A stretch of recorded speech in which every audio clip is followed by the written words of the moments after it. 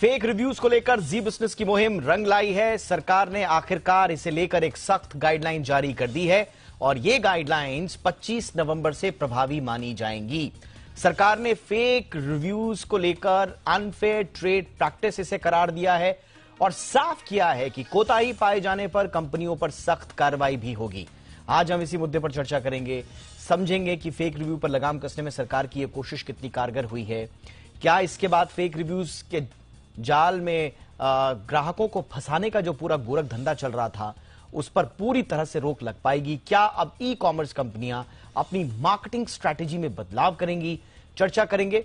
बहुत ही खास मुद्दा है जी बिज़नेस का भी और जी बिज़नेस के दर्शकों का भी, क्योंकि हमने और आपने दोनों ने मिलकर इस मुहिम को आगे बढ़ाया था और आज ये अंजाम तक पहुँची है। चर्चा करेंगे बहुत ही खास मेहमानों के साथ, लेकिन पहले यह रिपोर्ट।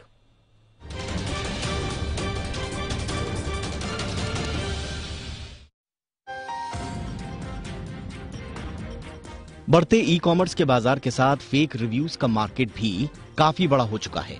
फेक रिव्यूज़ के चक्कर में ग्राहक कई बार दोयम दर्जे के प्रोडक्ट खरीद लेते हैं और ठगे जाते हैं। लेकिन अब फेक रिव्यूज़ का बुलबुला फूटने वाला है। सरकार ने इसे लेकर एक सख्त गाइडलाइन जारी की है, जो 25 नवंबर से प्रभावी मानी जाएगी। इसके तहत रिव्यू में जो लिखा गया है, उसमें कोई बदलाव नहीं किया जा सकेगा। कोई वेबसाइट या ई कॉमर्स पोर्टल अपनी सुविधा अनुसार किसी रेटिंग को दिखा या छिपा नहीं सकते।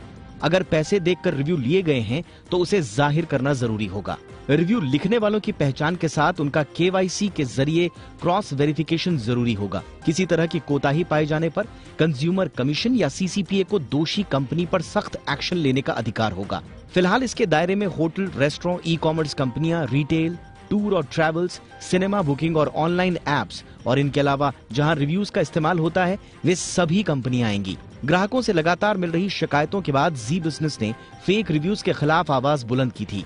सरकार तक जनता की बात पहुँचाने का काम किया। हमारी मुहिम रंग लाई। पहले तो उपभोक्ता मामलों के मंत्रालय ने इस मामले में तीन विशेषज्ञों का एक ग्रुप बनाया। इसके बाद मंत्रालय के अलावा advertising standard council of India यानी के आस्की और फेडरेशन ऑफ़ इंडियन इंडस्ट्री यानी के सीआईआई के प्रतिनिधियों को शामिल किया गया। इसके बाद सरकार ने ई कॉमर्स वेबसाइट्स और पोर्टल से जुड़ी कंपनियों में खास तौर से फ्लिपकार्ट और अमेजोन जैसी दिग्गज कंपनियों के प्रतिनिधियों के साथ बैठक की। बैठक में सरकार ने फेक रिव्यूज़ पर नकेल कसने के लिए उनसे राय मांगी। इसके बाद सरकार ने इसे लेकर सख्त गाइडलाइन जारी कर दी है। दरअसल, मुफ़्त प्रोडक्ट कमीशन या पैसे देकर फेक रिव्यूज़ लिखवाए जाते हैं। इसका मॉडस ऑपरेंडी ये है कि पहले रिव्यूअर प्रोडक्ट खरीद कर फाइव स्टार रेटिंग देता है और इसके बाद उसका पैसा वापस हो जाता है।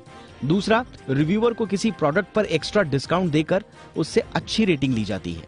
असली और नकली रिव्यू की पहचान करने के कुछ तरीके हैं। अगर किसी उत्पाद को केवल फाइव स्टार रेटिंग ही मिली है तो ये रेड फ्लैग है। ज़्यादातर रिव्यूज़ की अगर एक जैसी भाषा है तो सतर्क हो जाएँ। किसी प्रोडक्ट को अचानक फाइव स्टार रेटिंग मिलनी शुरू हो जाए तो ऐसे प्रोडक्ट की जाँच पड़ताल करना बेहतर है। ये कुछ ऐसे टिप्स हैं जिससे आप फेक रिव्यूज़ और असली रिव्यूज़ में अंतर कर सकते हैं। ग्राहकों को माथा पच्ची करने की ज़रूरत नहीं पड़ेगी क्योंकि सख्त गाइडलाइंस आ चुकी हैं। ब्यूरो रिपोर्ट जी मीडिया